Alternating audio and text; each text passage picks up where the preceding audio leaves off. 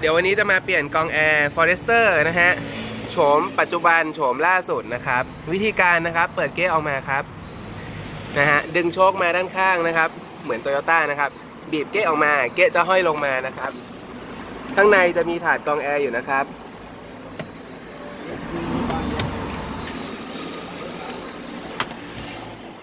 ดึงออกมาตรงๆเลยนะครับ แค่นั้นเองนะฮะ นี่นะครับ กองแอร์ ตัวเก่านะครับ เทียบกับนาโนกาดนะครับ